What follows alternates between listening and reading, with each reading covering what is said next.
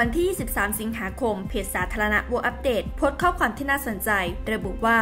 สหรัฐอังกฤษหน้าซีด ฐานทัพเถื่อน สถานทูตโดนจรวดถล่มรัวถี่ยิบ ปุ๋ยเกลื่อน จากกรณีที่รัสเซีย จีน สลับกันเรียกประชุมคณะมนตรีความมั่นคงแห่งสหประชาชาติ และกดดันให้สหรัฐ ถอนฐานทัพเถื่อน และกำลังทหารราว 900 นาย พร้อมอาวุธยุโทโธปกรณ์ออกจากซีเรีย อิรัก และหยุดขโมยและปล้นน้ำมันชาวบ้านที่ยากจนโดยทันที ไม่งั้นจะเจอมาตรการขับไล่ที่รุนแรง เพื่อรักษาสิทธิชาวตะวันออกกลางที่ถูกสหรัฐขโมยน้ำมันซีเรียไป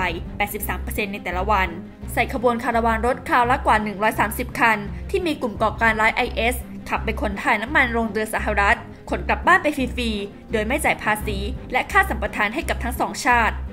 ล่าสุดมีขีปนาวุธ จรวด โดรนปริศนา พุ่งถล่มโจมตีภายในฐานทัพสหรัฐ และสถานทูตอังกฤษรัวๆ ถี่ยิบในรอบสัปดาห์นี้ ดังนี้ วันที่ 15 สิงหาคม 2022 ฐานทัพเถื่อนสหรัฐ อัลทันฟ์ บริเวณชายแดนซีเรียกับอิรักและจอร์เจีย ถูกโดรนติดอาวุธถล่มอย่างหนัก มีทหารอเมริกันเป็นปุ๋ยสองนาย บาดเจ็บสาหัสสี่นาย วันที่ 18 สิงหาคม 2022 ฐานทัพเถื่อนสหรัฐที่ใหญ่ที่สุด เป็นคลังเก็บกระสุนของฐานทัพ ในย่านใกล้แหล่งน้ำมัน อันยับเซ ในเมืองอัลชัดดาดี ในตะวันออกเฉียงเหนือของซีเรีย ขณะมีการซ้อมรบทหารอเมริกันภายในฐานทัพ ได้มีขีปนาวุธปริศนาระดมยิงถล่มจนเกิดระเบิดขนาดใหญ่มาก อย่างรุนแรงต่อเนื่องเป็นเวลานาน ได้ยินเสียงไซเรนของรถดับเพลิงและรถพยาบาล พร้อมควันพวยพุ่งขึ้นไปบนท้องฟ้า และโดรนของอเมริกาบินขึ้นไป สหรัฐปกปิดจำนวนผู้เสียชีวิต บาดเจ็บ และอาวุธเสียหาย วันที่ 19 สิงหาคม 2022 ฐานทัพวิกตอเรียสหรัฐ ซึ่งถือเป็นหนึ่งในศูนย์กลางของการส่งกำลังทหารอเมริกันในอิรัก เกิดเหตุก่อวินาศกรรมระเบิดหลายครั้งในฐานทัพ มีทหารอเมริกันเสียชีวิตและบาดเจ็บจำนวนหนึ่งที่ปกปิดรายงาน วันที่ 20 สิงหาคม 2022 ฐานทัพเถื่อนสหรัฐ ในแหล่งน้ำมันอัลโอมาร์ ชานเมืองเดียร์เอซซอร์ ซีเรีย โดนยิงขีปนาวุธหลายลูก โจมตีฐานทัพจนเกิดระเบิดรุนแรงหลายครั้ง ในวันนั้นมีรายงานการยิงขีปนาวุธจำนวนมากใส่ฐานทัพสหรัฐทุกแห่ง ในภาคตะวันออกของซีเรียและอิรัก แทบตลอดทั้งคืนทั้งวัน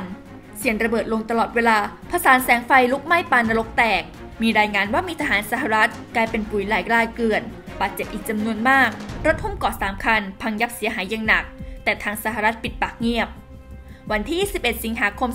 2022 ฐานทัพวิกตเรียสหรัฐในอิรัก เกิดเหตุวินาศกรรมซ้ำอีกครั้ง เพลิงไหม้ครั้งใหญ่ แต่สหรัฐปกปิดจำนวนผู้เสียชีวิต บาดเจ็บ และอาวุธเสียหาย วันที่21สิงหาคม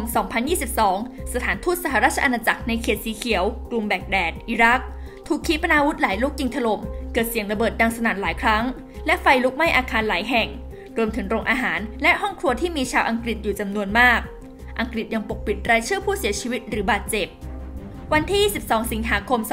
2022 ฐานทัพเถื่อนสหรัฐ อันทัน ชายแดนซีเรียกับอิรักและจอร์เจีย ถูกถล่มอีกครั้ง ด้วยโดรนติดอาวุธที่บินอยู่เหนือฐานทัพจรวดจำนวน 4 ลูก ถูกยิงถล่มทำให้ฐานทัพเถื่อนได้รับความเสียหายของอุปกรณ์ทางทหารจำนวนมาก แต่ปกปิดรายงาน ทุกครั้งที่สหรัฐ อังกฤษ ถูกขีปนาวุธ จรวด และอากาศยานถล่ม เป็นมือมืด ผู้หวังดีปริศนา จับมือใครดมไม่ได้ และไม่รู้ว่ายิงมันจากไหน